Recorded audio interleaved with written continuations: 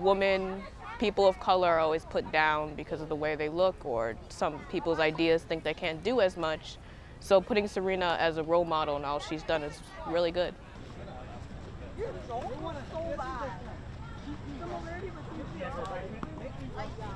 To have the motivation that she has and to have just the capacity to take whatever is like thrown at her, like that's something that you can use in your everyday life too.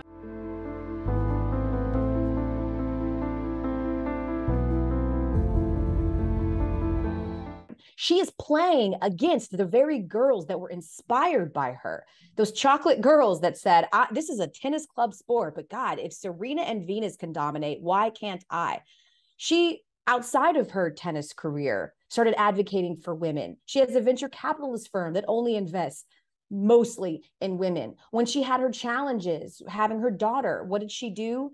She advocated and invested in black women and their poor maternal rates. Like she has always been sort of this bastion of change of influence of being yourself of speaking up for yourself.